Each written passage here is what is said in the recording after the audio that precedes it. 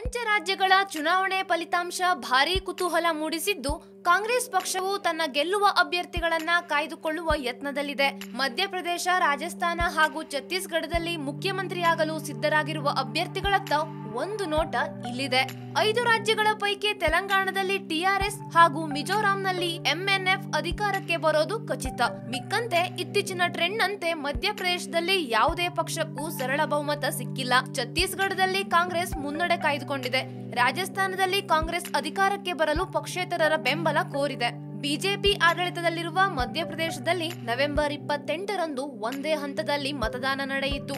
ಶೇಕಡ ಎಪ್ಪತ್ತೈದರಷ್ಟು ಮತದಾನದ ದಾಖಲೆಯಾಯಿತು. ಬಿಜೆಪಿ ಎರಡ್ನೂರ ಮೂವತ್ತು ಕ್ಷೇತ್ರಗಳಲ್ಲಿ ತನ್ನ ಅಭ್ಯರ್ಥಿಗಳನ್ನ ನಿಲ್ಲಿಸಿತ್ತು. ಕಾಂಗ್ರೆಸ್ ಎರಡ್ನೂರ ಇಪ್ಪತ್ತೊಂಬತ್ತರಲ್ಲಿ ಸ್ಪರ್ಧಿಸಿದ್ದರೆ ತಿಗ್ಮಾಕ್ಪರ್ ಜಿಲ್ಲೆಯ ಜತಾರಾ ಸೀಟನ್ನ ಶರದ್ ಯಾದವ್ ನೇತೃತ್ವದ ಲೋಕ್ ತಾಂತ್ರಿಕ್ ಜನತಾದಳ ಬಿಟ್ಟುಕೊಟ್ಟಿತ್ತು. ಮಧ್ಯಪ್ರದೇಶದಲ್ಲಿ ಅಧಿಕಾರ ಸ್ಥಾಪಿಸಲು ಬೇಕಾಗಿದ್ದು ಮ್ಯಾಜಿಕ್ ನಂಬರ್ ಒನ್ ಸಿಕ್ಸ್ಟೀನ್. ಮಧ್ಯಪ್ರದೇಶದಲ್ಲಿ ಎಂಬತ್ತೆರಡು ಮೀಸಲು ಕ್ಷೇತ್ರಗಳಿದ್ದು ಮೂವತ್ತೈದು ಎಸ್ಸಿ ಹಾಗೂ ನಲವತ್ತೇಳು ಎಸ್ಟಿ ವರ್ಗಕ್ಕೆ ಸೇರಿದ್ದಾಗಿವೆ.